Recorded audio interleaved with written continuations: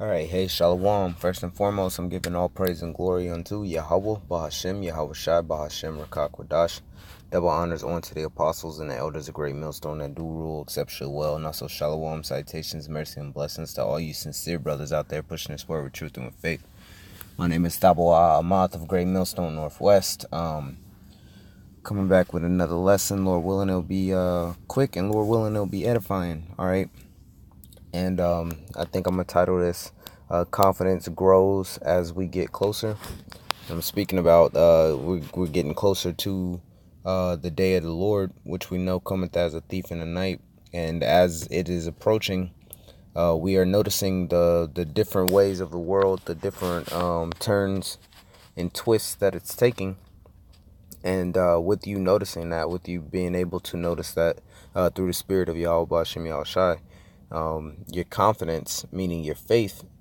All right, because confidence means with faith. So you being with faith is supposed to increase. It's supposed to grow. All right, and I got a couple of scriptures that's going to help me uh, support that message. And Lord willing, this will be edifying. We're going to start in the book of Hebrews, um, the tenth chapter, at around verse nineteen. Um, and we'll read a couple of these verses. All right, Hebrews ten and nineteen having therefore brethren boldness to enter into the holiness the holiest I'm sorry into the holiest by the blood of Yahweh Shai by a new living way all right which he have consecrated for us through the veil that is to say his flesh and having a high priest over the house of the heavenly father let us draw near with a true heart and full assurance of faith having our faith sprinkled from an evil conscience and our bodies washed with pure water. Okay? So, what it's saying here, what Paul is breaking down here, is that uh, due to the sacrifice that Yahweh Shai has done for us. All right.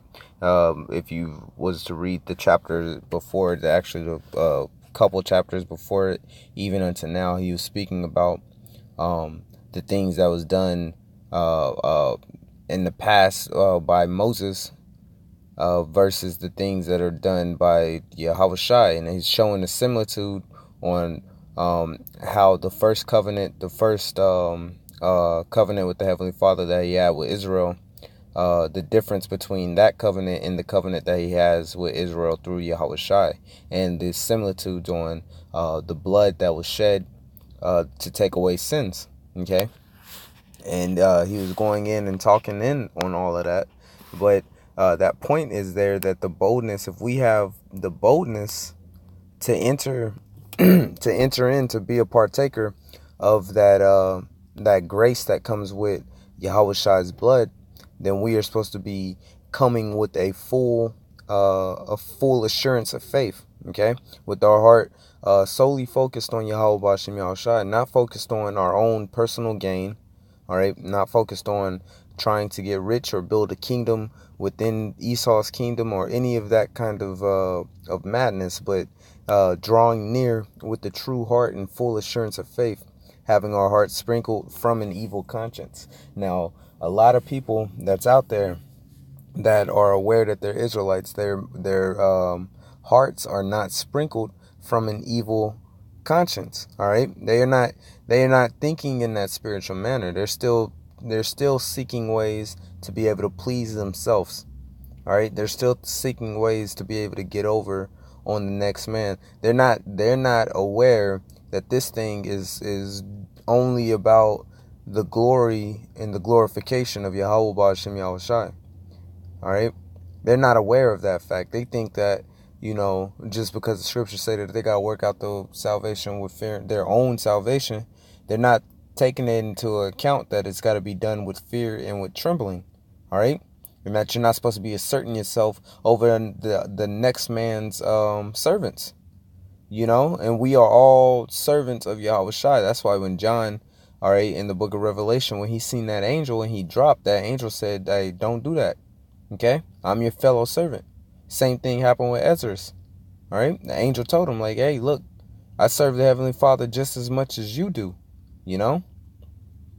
Obviously, he didn't use those exact words, but um, that that point is there is that we're we're all fellow servants of Yahweh Shem Shai. So for you to be trying to make yourself a king, hey, Yahweh Shai is the king, man. King David is the king. All right, which we already had King David in this in this uh, generation, man.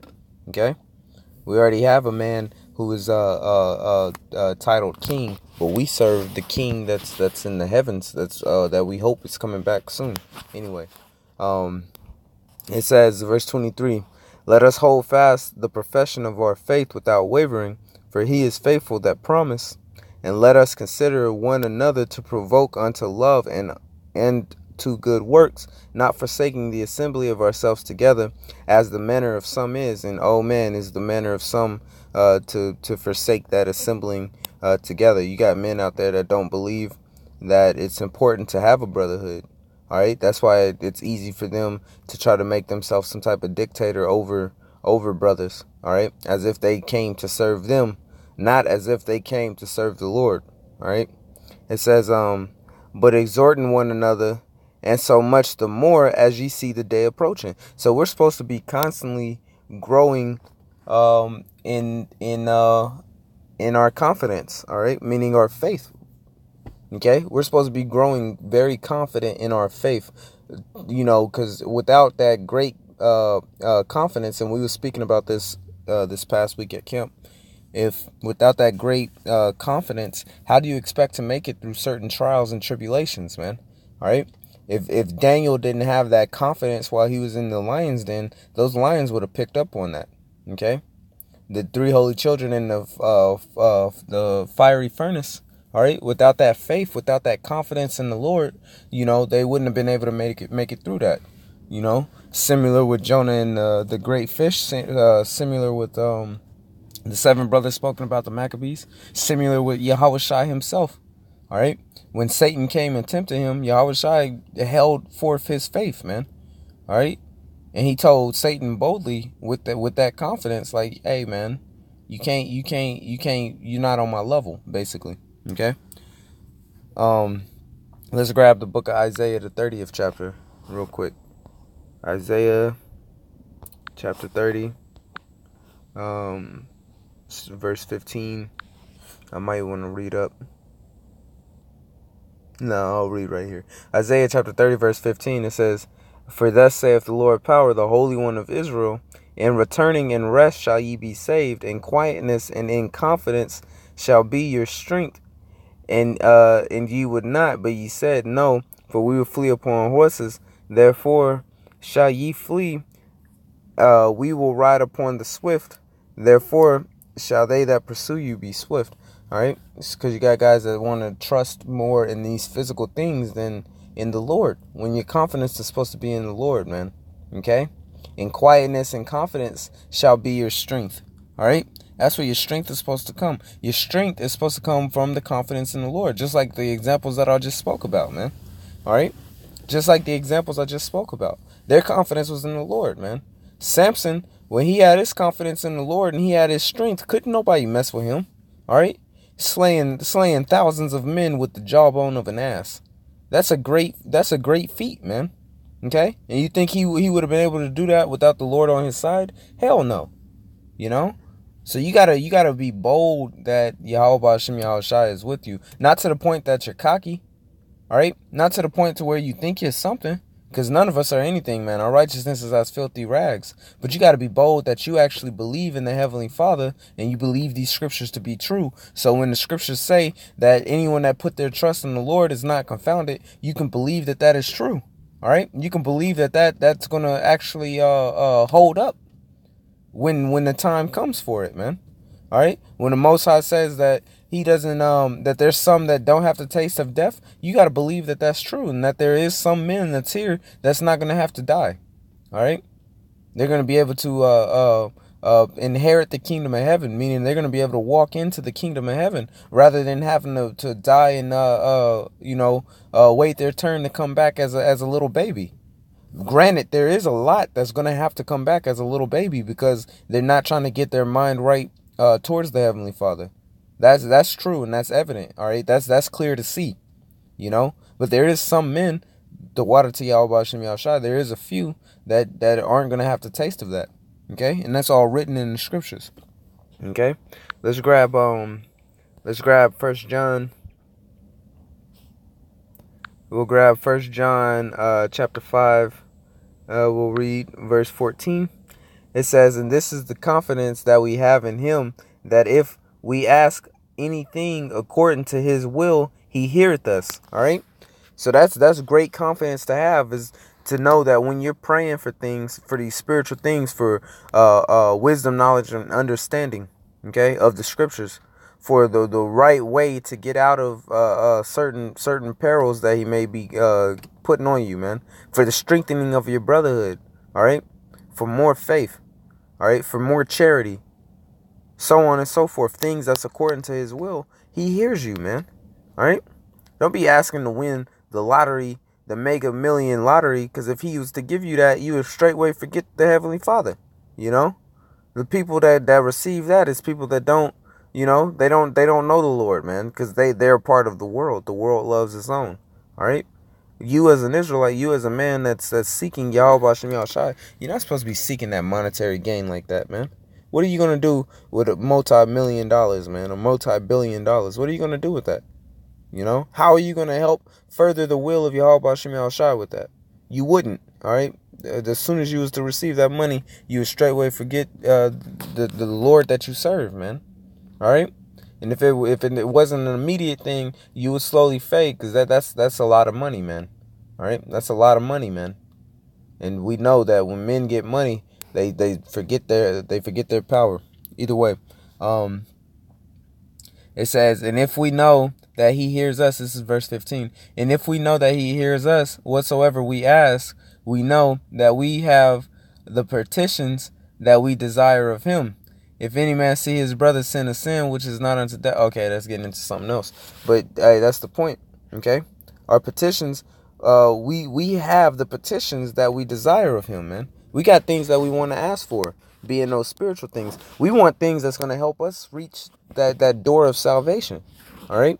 We don't want things that's going to help us uh, further ourselves into into the dark. All right. We want the things that helps us continually see light and emit light to where others can see light as well. All right. We're searching. We're searching for the truth, man. We're about the glorification of Yahweh Shem Yahushai. We are not about uh, pushing ourselves to some type of level.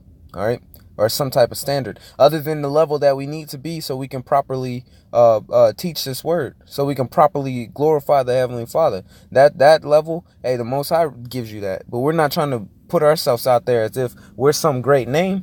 All right because the name is Yahweh by Hashem Yahushai all right that's that's what's important. All right the name of Thabawaah is not important. You know? And that's just an example. Anyway uh let's go to the book of Philippians. Uh, we'll go to Philippians chapter 4, verse 13. Common scriptures be uh, read. It's um this is uh Philippians chapter 4, verse 13. It says, I could do all things through Yahweh Shai, which strengthens me. Okay? Notwithstanding, ye have done well that ye did communicate with my affl- uh, affliction. Okay? I could do all things through Yahweh Shai, which strengthens me. All right? And if you don't have your faith truly in Yahweh Shai, how the hell is he going to be able to strengthen you? All right? How the hell is you going to be able to receive strength if you don't got that faith, man? That's just like the book of uh what was that? Proverbs uh Proverbs 3. Let's let's see if I can find this. Proverbs chapter 3 verse 24. Nope. Proverbs 20 uh, Proverbs chapter 3, verse 26. I'm going to read verse 25. It says, Be not afraid of sudden fear, neither of of the desolation of the wicked when it cometh. And it's it's coming around again, all right? This is something that has happened in the past, and it's something that's going to happen, it's going to keep reoccurring until Yahweh Shai returns, man. And it's going to have a great one that's going to come where there's never been a day like it, and that's going to be the day when the wicked actually gets judged, okay? It says, um, for the Lord shall be thy confidence and shall keep thy foot from being taken. And that's that's that's a that's a great thing to, you know, to have inside your mind, man. All right? That's a great way to to start to face the day to stare down the day with the boldness and confidence of Yahweh Shem Yahushai, man. All right? What the hell can be presented to you that's going to shake up that faith? All right? if there is an actual thing, I don't want to know about it, man. All right? If there is an actual thing, I don't want to know about it. Because I like to think that my faith can't be shaken. All right? I would like to think that my faith can't be shaken. I would like to think that I got full confidence in Yahweh Shem Shai, man. And that there's nothing that's upon this earth that's going to be able to change that. All right? And guess what? So long as I do the will of the Heavenly Father, so long as I keep myself in order and, and continually work towards uh, perfecting myself to where I'm a great asset for Yahweh Shem Shai. As long as I as long as I do that, I have no reason to think that the Most High will bring uh, such a thing upon me. Okay? And and and you and you can too. That's a little inside joke for the camp. Anyway, um, I'm gonna grab uh, one more scripture and I'm gonna go ahead and close it out. This is uh, we're gonna go back to the book of Hebrews, uh, chapter four, verse sixteen. Okay, last last verse in here. It says, "Let us therefore come boldly unto the throne of grace, that we may obtain mercy and find grace to help in time of need." Okay.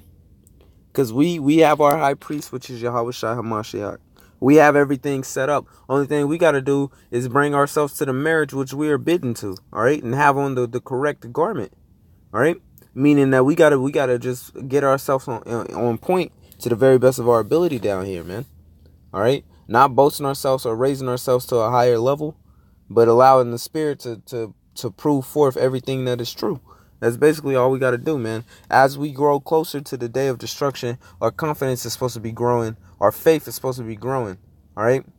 There shouldn't be anything that's going to take you away from Yahweh Bashem Yahushai. No matter if Esau come and snatch you up. He come and snatch you up and he places you in prison. And in prison, you're surrounded by all these um, wicked ass motherfuckers, man. You're not supposed to go and align yourself with these wicked motherfuckers for protection. Hey, Yahweh Bashem Yahushai Bashem Rakakwadash got your back, man. All right? And if you don't if you don't if you don't think he can protect you, then you shouldn't be wasting you shouldn't even be wasting your time uh uh you know to actively serve him. All right? If you don't think the most high is going to protect you, you don't got you you shouldn't waste your time uh serving him. All right? Me, I believe that the Most High will protect me. Either way, uh, that's the lesson. Lord willing, this has been edifying. Lord willing, uh, the message was received. Again, the praise and the glory it goes on to Yahweh, Bahashem, Yahweh Shai, Bahashem, Rakakwadash. Double honors on to the apostles and the elders of Great Millstone that do rule exceptionally well. Constantly feeding, uh, feeding the flock. And also, um, Shalom, citations, mercy, and blessings to you, sincere brothers out there pushing this word with truth and with faith. Until next time, Shalom.